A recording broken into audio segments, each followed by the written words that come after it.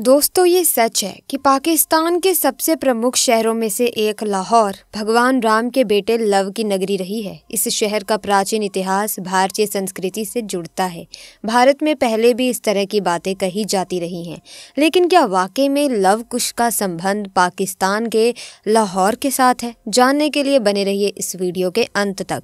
भूख और तंगहाली से जूझते पाकिस्तानियों को भगवान राम और उनके बेटे लव की याद आ रही है।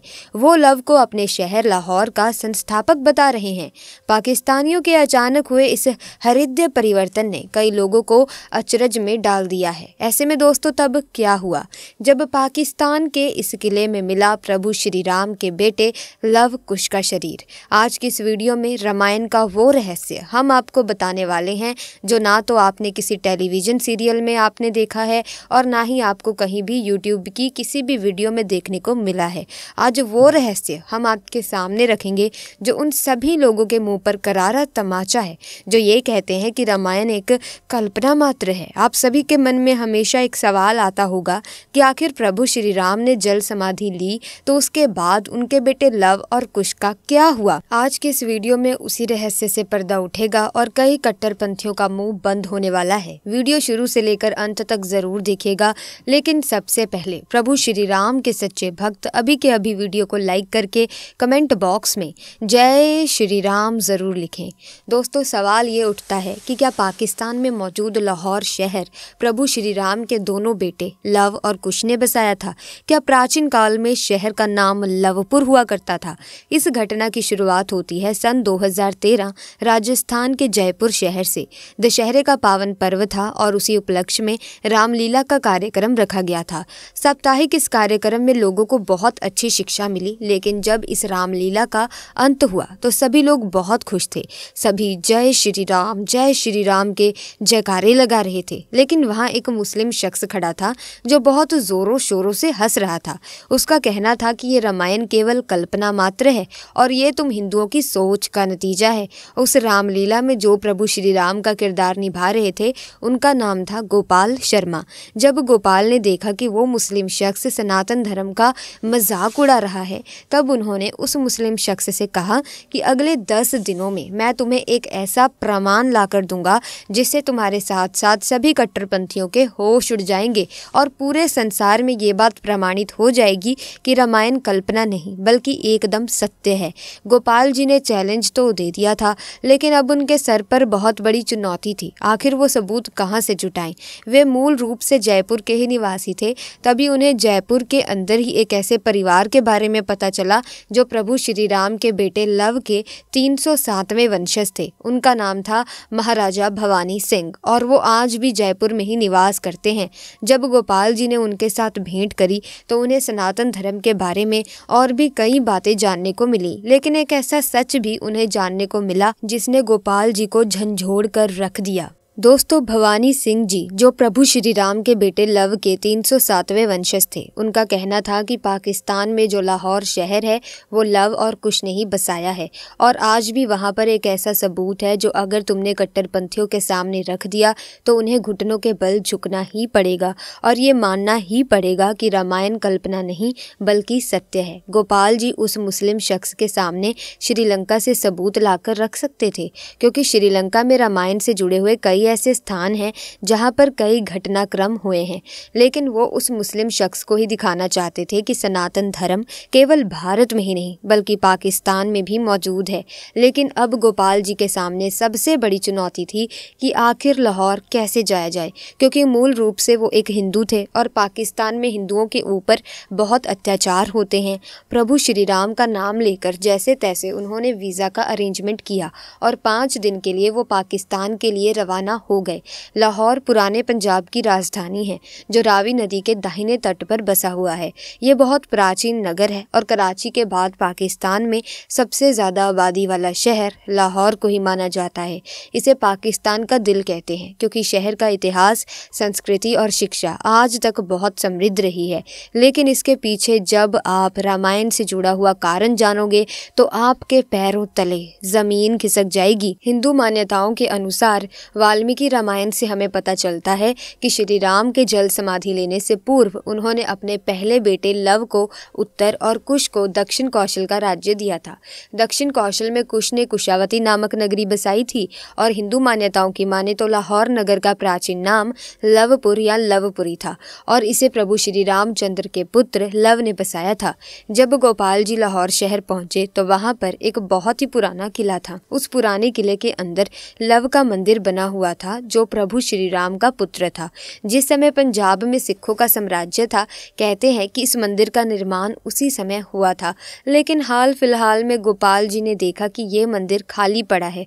वहाँ पर सभी मुस्लिम होने के कारण कोई भी उस मंदिर को देखने करने वाला नहीं था। लेकिन इस किले को एक निश्चित स्थान पर उन्होंने वो देखा, जिसे देख कर उनके रोंगटे खड़े हो गए, क्योंकि वहाँ पर आज भी लव की समाधि बनी हुई थी। वहीं पर उन्हें शंत्रु जय का एक अभिलेख भी मिला, जिस पर साफ़ साफ़ लिखा हुआ था कि लवपुर या लाहौर आज से पहले लवपुरी के नाम से जाना जाता था। वास्तव में अपने इतिहास को इतना करीब से देख करके गोपाल जी को बहुत सौभाग्यशाली महसूस हो रहा था। उन्होंने उस पूरे किले की वीडियोग्राफी करी, जहाँ पर ऐसे कई सबूत थे जो रामायण के साथ जुड़े हुए थे, जो ये शक को यकीन में बदल रहे थे कि सचमुच में पाकिस्तान के लाहौर शहर को प्रभु श्री राम के पुत्र लव ने ही बसाया था। गोपाल जी ने उस पूरे स्थान की वीडियोग्राफी करी और सबूत लेकर अपने साथ पुनः भारत आ गए। और अब जब सबूत उस मुस्लिम कट्टरपंथी शख्स को दिखाए तो उसकी आँखों में भी आँसू आ गए, क्योंकि उसका ऐसा मानना था कि पाकिस्तान एक इस्लामिक देश है और वहाँ पर केवल इस्लाम धर्म ही चलता है। लेकिन जब उसने देखा कि वहाँ पर सनातन धर्म का डंका कई हज़ार सालों से बज रहा है तो वो भी घुटने के बल गिर गया और गोपाल जी से हाथ जोड़कर माफ़ी मांगने लगा। इसी के साथ दोस्तों, आपके मन में भी एक और सवाल ज़रूर जन्म ले रहा होगा कि लव के बारे में तो हमें सारी जानकारी प्राप्त हो गई। लेकिन कुश, जिसे दक्षिण कौशल का साम्राज्य दिया गया था, कुश ने आखिर अपने साम्राज्य का विस्तार कैसे किया? ये सुनने में आता है कि लव ने लाहौर शहर की स्थापना करी, लेकिन कुश ने जिस कुशावती नगर की स्थापना की थी, वो छत्तीसगढ़ के राज्य के बिलासपुर ज़िले में मौजूद है। कुश ने अपना राज्य पूर्व की तरफ़ से चारों ओर फैलाया और आज थाईलैंड के जो राजा हैं, वो भी इसी राजवंश के वंशज हैं। शायद इन्हीं कुछ कारणों से थाईलैंड के राजा को आज भी राम की उपाधि देने की प्रथा यथावत है। लेकिन आपको बता दें कि दुर्जय नामक एक असुर के साथ युद्ध करते करते कुश की मृत्यु हो गई थी। दोस्तों, बात बात अगर माता सीता की करें तो भगवान श्री राम द्वारा त्यागे जाने के बाद देवी सीता ने अपना जीवन ऋषि वाल्मीकि के आश्रम में ही बिताया, जो कि हाल फ़िलहाल में वर्तमान में कानपुर शहर से 17 किलोमीटर की दूरी पर बैठूर गाँव में मौजूद है। लव कुश की जन्म स्थली भी यही कही जाती है। माना जाता है कि इसी स्थान पर रामायण ग्रंथ की रचना भी हुई थी। इसी आश्रम के आसपास एक हिंडन नाम की नदी बहती है, जिसका पानी गंगा की तरह पवित्र है। इस आश्रम में माता सीता का एक मंदिर मौजूद है और यहीं पर माता सीता की रसोई भी बनी हुई है। ऐसी मान्यता है कि यहाँ पर जो बर्तन मौजूद हैं, उन्हीं का इस्तेमाल माता सीता खाना बनाने के लिए किया करती थी। सीता रसोई के साथ ही यहाँ पर एक कुआँ भी स्थापित है, जिसे लेकर कहा जाता है कि माता सीता इसका उपयोग पानी के लिए किया करती थी। साथ ही यहाँ पर एक पेड़ भी मौजूद है, जिसके नीचे बैठकर लव और कुश ऋषि वाल्मीकि से शिक्षा प्राप्त किया करते थे। भगवान राम ने जब अश्वमेघ यज्ञ कराया था तो कोई भी राजा श्री राम के घोड़े को पकड़ने की हिम्मत नहीं कर पाया था। रामायण में हमें उल्लेख मिलता है कि जब वो घोड़ा बिठूर गाँव पहुँचा तो लव कुश ने उस घोड़े को बाँध लिया। जब प्रभु श्री राम की ओर से उस घोड़े को छुड़ाने के लिए हनुमान जी आए तो लव कुश ने उन्हें भी परास्त करके बंधक बना लिया और ये स्थल आज भी बिठूर गाँव में बना हुआ है, जहाँ पर हनुमान जी और लक्ष्मण जी को लव और कुश के माध्यम से कैद किया गया था। कहते हैं इसी स्थान पर माता सीता पताल में सम्माहित समाहित हो गई थी।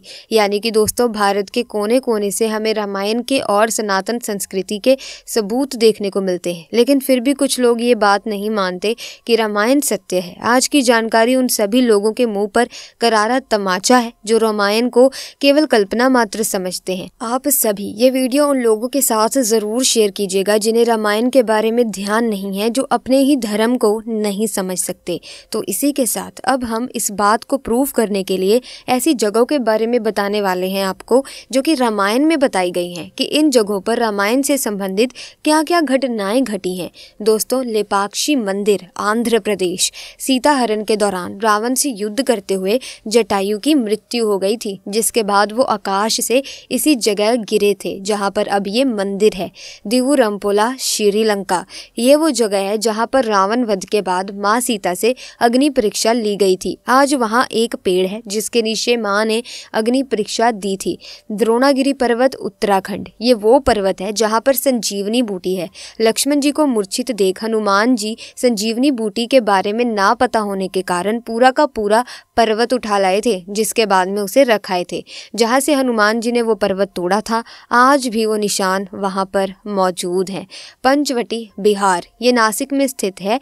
ये वो जगह है जहाँ पर वनवास के समय राम, सीता और लक्ष्मण रुके थे। यहीं पर लक्ष्मण जी ने स्वरूप नखा की नाक काटी थी। तो दोस्तों, अगर रामायण झूठी है, एक कल्पना मात्र है तो ये फिर जो स्थान है, क्या वो भी कल्पना ही है, या ये भी स्थान झूठे हैं, या जो अभी शोधकर्ताओं को नए नए सबूत मिल रहे हैं रामायण से संबंधित, क्या वो भी झूठ है? ऐसे में दोस्तों, रामायण के विषय में शोध चल रहे हैं। आगे भी हमें और भी ऐसे सबूत मिलते रहेंगे, जो ये प्रमाणित करेंगे कि रामायण एक कल्पना नहीं, बल्कि सच में गठित एक कथा थी। इसी के साथ आज की वीडियो में बस इतना ही। मैं उम्मीद करती हूँ कि आज के इस वीडियो से आपको इतना तो फ़र्क समझ लगा होगा कि रामायण एक कल्पना नहीं, बल्कि एक ऐतिहासिक और कह सके कि एक ऐसी घटना है जो इस धरती पर घटित हुई। और साथ ही लव कुश के बारे में भी आपको जानकर काफ़ी हैरानगी हुई होगी। ऐसे में लव कुश के बारे में आप पहले जानते थे या नहीं, कमेंट्स में ज़रूर बताना। साथ ही वीडियो को लाइक करें, शेयर करें, चैनल को सब्सक्राइब करके बेलाइकन को प्रेस करें, ताकि नए वीडियोज़ की अपडेट आपको मिलती रहे। आपका बहुत बहुत धन्यवाद।